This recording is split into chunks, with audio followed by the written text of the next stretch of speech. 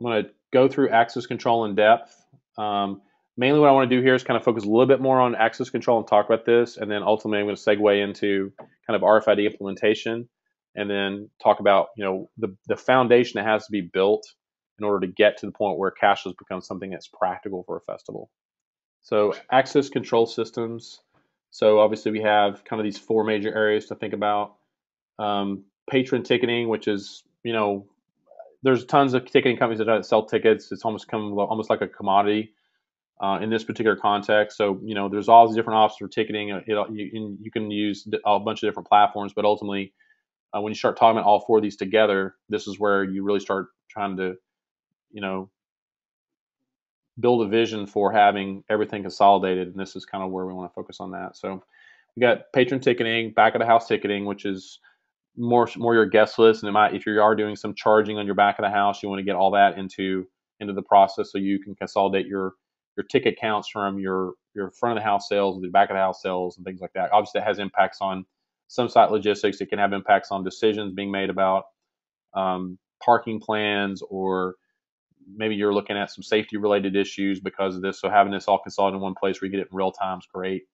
Uh, production credentialing, which you know all your staff volunteer and level credentialing sponsors all that stuff obviously those numbers are important so getting the, getting all that into one access control system is great so you can see those, kind of all these numbers globally and then comp ticket processing which again plays in with kind of use that example from both maybe from volunteer programs or from sponsorship level activities or it could even be with food vendors and things like that. You have your comp ticketing processing in one system. So this is just kind of a simple chart of you know RFID versus non-RFID, and this is purely kind of focusing on the ticketing side of it.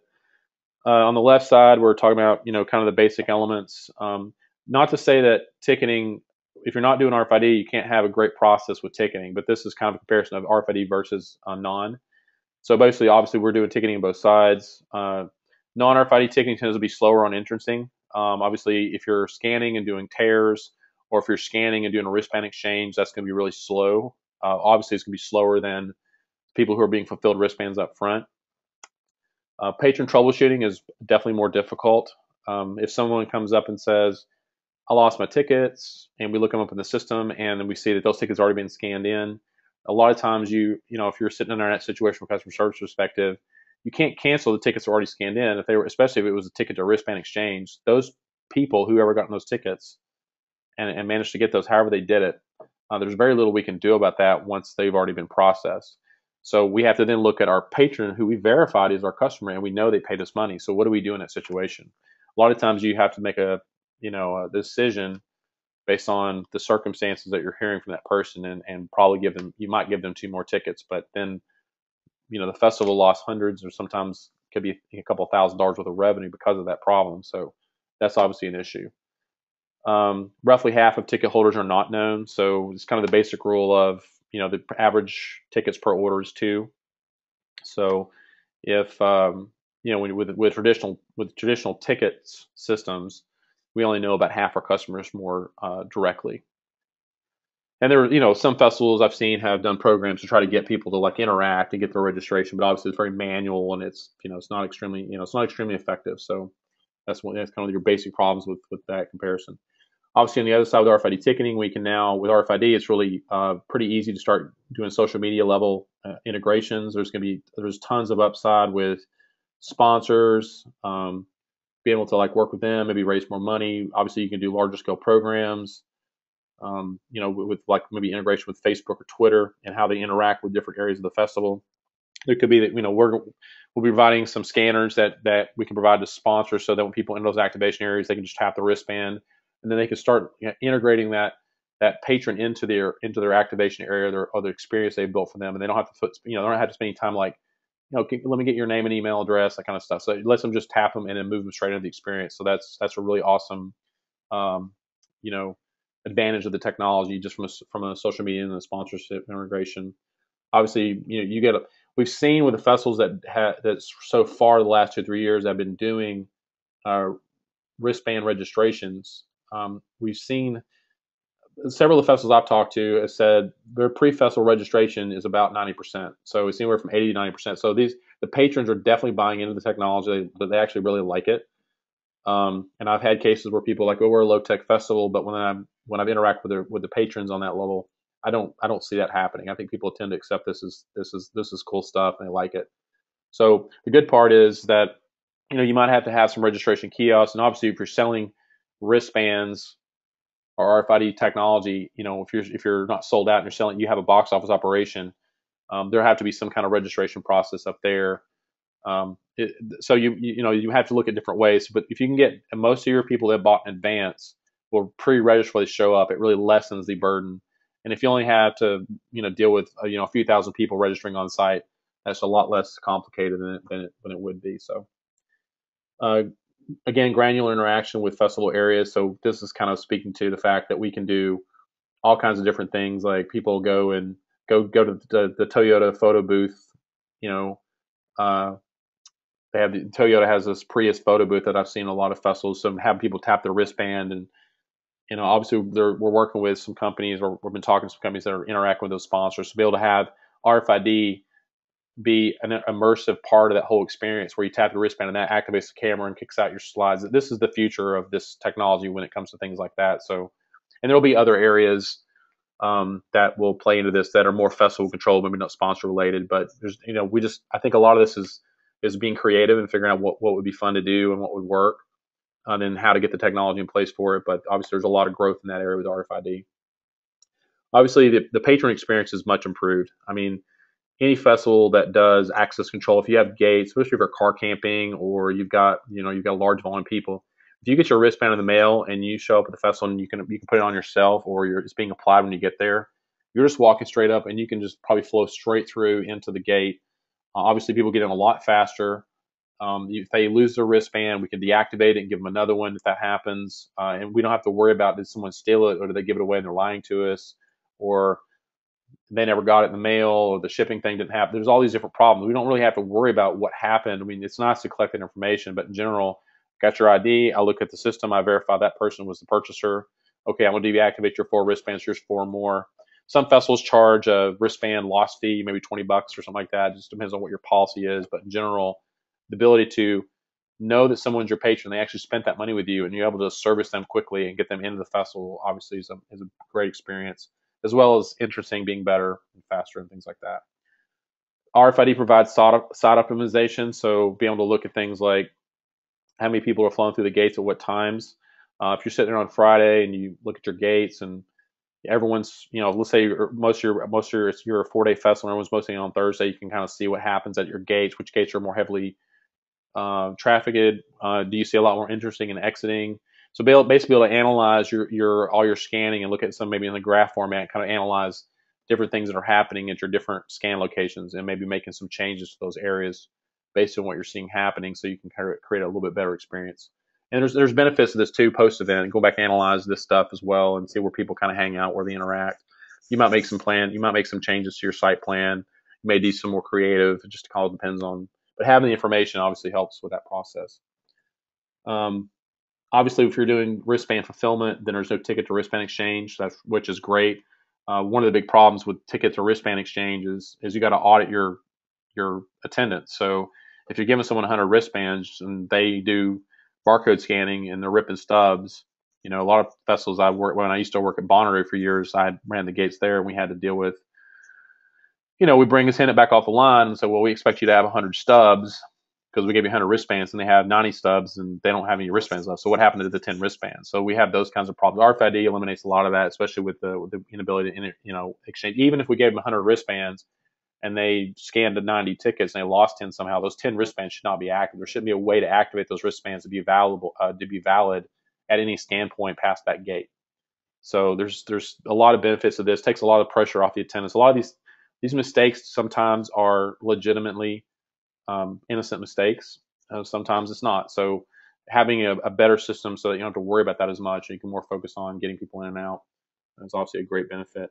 And obviously, there's the kind of the holy grail RFID, which is the increased revenue opportunities. I mean, obviously, if you can if you can get rid of tokens, you know, if you're owning concessions and you want to get rid of tokens so people don't have to wait in line in one line to get a token, to go get another line to get a beer. If they can just go straight to the line to get the beer and buy that because they've they banked some money on their wristband, and they can do that from their phone when they're sitting in the camp, or whatever, or they can do it pre-festival, or they can go to a kiosk and do it, and they don't have to worry so much about standing in two lines. Those are the types of things that we need to look at, uh, as well as you know, there's some you know with with risk, with obviously with cashless, the other big advantage is that you know you don't have to worry about theft at all. I mean, pretty much people can give away stuff, but they can't give away stuff and take money. So there's all these different things that come into both increased revenue, both from removing graft and fraud, as well as increased sales and th- increased throughput through those areas so things get done quicker and you can sell more product. So implementing RFID. Um, so there's this is kind of a, a 30,000 foot view of all the different things. Obviously, you can, you can drill down to some of these areas and get very granular and all the work that goes into it. But I'll talk through all these different areas and we'll talk through, and then I think Laura Kirby was asking a question about box office. I'll talk a bit about that too, because obviously with and she's right, a lot of festivals don't sell out, um, and I'm probably thinking that might be referencing the registration conversation I was talking through, and I can go back to that and come out in a little bit towards the end. Uh, patron registration, uh, links to wristband, one patron per wristband. So this is kind of talking about patron registration and what the benefits of it are. I touched on this a little bit in a previous slide, but uh, obviously, during the registration process, uh, this is very important. Uh, the ability for, you know, with Facebook and Twitter and the way that they interact, uh, you basically have to authorize, um, say, a particular media to be able to do things with Facebook. So the patron has to basically um, they register the wristband. This is log in. they can have a thing say log in to Facebook or link to Facebook and link to Twitter. When they do that, they're authorizing, say, festivalwebsite.com to post likes or post things on the feed. And obviously, these things can be tailored based on what we want to do from a festival perspective as we interact back with uh, back with the festivals. But obviously, the registration process is great because it allows those authorizations to happen pre-festival, and they can also happen at registration kiosks on site as well. But and obviously, once once those things are in place, then you can figure out how you want those integrations to work with the sponsors and or festival programs that you're maybe developing for your festival. And again, I'm making the same point about get 95% of your patron information instead of the average of 50%. I don't know, the average 50% is kind of a kind of a standard, but it could be that some people have higher or lower levels depending on your festival. Most of the ones I talk to, two to one, I mean, two two orders to one or two tickets per order seems to be a pretty close number to where everyone's at, but it could be different for your events. All right, I'm looking at a couple questions here. So in-house ticket fulfillment. Um, for major ticketing companies? Yeah, that's a good question. I think we um, at Vendini, I'll just kind of talk about this for a second. This kind of talks to implement RFID because fulfillment is a major part of this. Um, I think fulfillment tends to be, in my experience recently, fulfillment's hard, and, and it's it's not hard. It's not it's not hard actually. It's just you have to be very thorough. You got to take your time and do it right.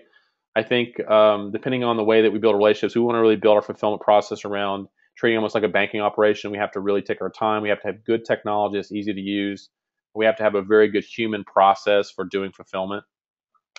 Um, but if you make mistakes, you know, obviously the festival's gonna, you know, there could be some backlash to the festival. We worked with a festival this summer that uh, had a lot of problems with fulfillment last year. Their ticketing company really failed them on that. They had about 500 orders got messed up at that level. Now they sold, you know, they sold probably 5,000 orders, but a 10% failure rate was pretty bad. Uh, obviously, there was a lot of pushback on that, and um, I think you know we are building our fulfillment center from the ground up around the registration process and doing things right, and having maybe a secondary check as every order goes through.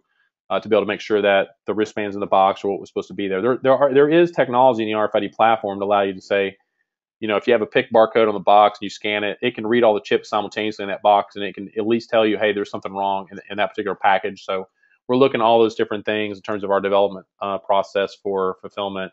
We're definitely going to make sure that's uh, we're going to do our best job on that as we can. Now, obviously, there's there's you know the festival can choose to do it themselves, or we can outsource it to a third party. Uh, those things are available, and it just all depends. But fulfillment is a very important factor in all this, and if it's not done right, it can definitely cause a lot of problems. Uh, you know, and I think you know, based on our relationships with our clients, we'll have to talk through who has to suffer the burdens of those. We typically at Vendini, if we're doing fulfillment, we're taking the customer service calls on that. Um, but we can, you know, we can talk more about that uh, after the after the presentation. If you guys want to have a more direct conversation, we can talk about it more thoroughly. All right, I'm gonna go to the next slide here. So access control considerations. Obviously, when you go to doing an RFID type event, Um, you're going to have obviously there's a big impact on the network infrastructure. If you're, you know, obviously with gates, you're going to have to have more uh, dropped Ethernet. You're going to have to have a much stronger wireless solution. Uh, there's probably more places on site that have to have internet access than if you're not doing RFID, depending on all the different levels of integration that you're doing with the technology. Uh, obviously, this affects operations. There has to be more time for training. Um, you know, there's just more technology that's going to be integrated with the site. So uh, there has to be maybe more cable runs done. We have to order more types of equipment and things like that have to be done. I think the site deployment planning becomes very important because obviously, you know, festivals, you know, things change. You, you make adjustments, things like that. So if you if you move the gates, you know, maybe you kind of redesign some of your areas and where entrance is going to happen. Then now all of a sudden you got to talk about okay, what power do we need to move? Are we going to have to run more Ethernet? Is that completely, you know, now the IT plan has to change. So it impacts more people when you move stuff uh, with RFID than if it doesn't. So obviously, just have to keep in mind that that your your site planning and your operations plans and your network infrastructure, all this stuff has to be in sync. Uh, and as these changes come up, everyone needs to be notified. And there needs to be kind of more of a project planning that gets managed into this because you know we've seen it. I've seen it time and time again where even this summer with festivals that are experienced, they come in and you know I was sitting at a festival in in um, June that I was working on, and we were doing RFID catering, and uh, the there was no nobody even though requested that those areas get uh, set up with certain types of internet connectivity that we need to guarantee that service. Uh, the IT that, that information never got through management to the uh, to the IT contractor. So we showed up on site, fortunately early. We found that we had no no plan and there was no equipment for us to use. So we had to kind of last minute go through some emergency uh, processes to get that fixed uh, before we could get it operational and obviously security integration. Obviously, RFID affects security the most in terms of more of a direct training aspect. Um, yeah, so basically the you know make sure we can get those guards trained. I think the problem here is that it, we need to train them, but I think the, the challenge that I'm seeing from really more from the site side of things is that we need to make the technology easier to use. If the if the scans are complicated, if they log into it multiple times, these guys don't need to use username passwords. They just tap their wristband and that activates the scanner, and it should be that simple. And they get a red or green screen. So it's not that these guys aren't that some of these guys aren't sophisticated. It's just the fact that there's so many of them. We've got sometimes three to four hundred security guards out there. Uh, the management team is already really busy just trying to manage scheduling and make people make people doing their jobs and doing the audits. So it's we just don't want to add a lot of burden to this. But obviously, uh, when you're planning your um, your RFID architecture, thinking about the impact on your security teams uh, is very important. And we want to make sure that we make that as simple as possible so they can uh, actually focus on their jobs and not not have to deal with a lot of problems with the technology itself. So other things like scanning considerations, um, you know, basically what I'm talking about there is just kind of, again, this goes back to a little bit of training, but kind of thinking through um, training people on how to really use the scanners, uh, make sure they trust the technology. I think one of the challenges I've seen in the last few years with with uh, RFID, and especially around security guards and the security companies that manage these people, um, they they don't entirely trust the technology. They, they had a lot of cases where the scanner doesn't work, or I, I keep tapping these wristbands. So I think buying quality chips, working with manufacturers that we can trust. I've worked a couple of festivals, ordered some stuff from out of China, and we had a lot of problems with the chips. Just you know, normal readers couldn't pick them up, and or you'd have to tap the thing five or six times to get to read the chip. So I think the quality of the of the technology, and it's getting pretty inexpensive. Like you can get RFID wristband, cloth wristbands now for about 70 cents in, in decent quantities from a couple different manufacturers, and the prices will continue to drop on those. But anyway, so you know, kind of making sure that that that we put together both the good wristbands and have the right technology so that scanning works quickly. If you're if you're taking a minute or two to scan every chip, obviously that's going to be a detriment. That's going to be bad. Uh, real-time scan reporting. I talked about this a bit earlier about kind of analyzing what's going on different places. Um, I think other things are important too, like you know, from a reactive standpoint, have knowing that you know if you're looking at your your scan, if you got kind of a control panel, which we're built, we've built one into our system where we know that that around our main stage we've got six scanners at these different positions. If one of those hasn't synced up or hasn't you know checked in, say in the last 30 seconds, do we do we flag that and send someone out? Maybe the battery's too low, maybe the wireless is dropped, whatever. And obviously we want to make sure that we can kind of deploy people from the support team that can kind of run around and they know where the problems are occurring in real time. Uh, real-time scan reporting can help with that, as well as being able to run analysis on where things are at. Another consideration is volumes. If you've got a if you've got a controlled area that's fenced in and you've worked with, your fire marshal and you've got certain capacity limit issues that you need to work through, being able to kind of like know how many people are in that area at, at any exact moment because uh, you're doing you're doing in you're doing entrance and exit scanning for something like that. Um, being able to have those those things be able to report in real time is really valuable. Uh, box office credentialing areas. Uh, this kind of goes back to um, a lot of festivals don't sell out. So how do you how do you effectively manage wristbands? Obviously, you don't want to be in a situation where you have to go into your ticketing platform and sell two tickets and then print those off and scan those two tickets and activate a wristband. So we have to have a process where we can just sell two wristbands quickly at the box office. Obviously, um, you know, and, and and same with credentialing areas. We want to be able to, you know, make sure that we're we're activating the wristbands. We need to know if we're running low on those. I worked a couple of festivals this year where we had some unexpected requests from the artist side, and they really they really pushed the limits of the amount of credentials that we had. So we were basically looking at it and saying we're probably we might run out of wristbands on Sunday on the artist side. So we might have to start cutting back on the guest list, and there's people we might have approved for artists. Maybe we're just dropping down to guests. So be able to kind of understand, you know, those levels as well. It's not just about effectively issuing stuff. Sometimes you're actually managing uh, those types of situations. And you want to make sure that you're going to be able to deal with it before it becomes a problem uh, RF, RFID customer service. Uh, obviously, with you've got your box office operation and all the things you do when you're doing normal ticketing, but now that you're an RFID, you're gonna have to probably there's some wristbands that have problems. People break them, they put them on too tight. If they're a one-way slip uh, class, then they might have somebody pull on it and all of a sudden it gets real tight. So it's actually restricting on the wrist and it has to be cut off and replaced. So you're going to have to understand that you're probably going to put a few maybe at the info booth and a couple other places within your within both on the GA side, maybe one maybe something behind say the main stage to deal with the artist side. It's, it depends on your infrastructure, but you're going to have to consider maybe uh, adding some additional people uh, and locations to deal with wristband customer service. And obviously, registration kiosks. Um, you, you'll have to have some of these. Uh, we're currently looking at developing these into like iPads that get mounted on these nice little swivel bases. So having a simple process where I can tap my wristband on that device put in my first and last name, maybe I'm an email, or maybe I'm linking it to my Facebook profile. We want to be able to make sure that your, you know, registration kiosks need to happen. Probably wristband customer service locations that have these. Anywhere that you're having a box office operation, you're going to have these. Um, there might be a couple other places where you look at it. It all depends on what you want. But we we're trying to develop this technology, and it is very easy to deploy using uh, fairly inexpensive devices. You know, iPad Minis are pretty cheap, so in scheme of things. So th- those those types of things that we're looking at there.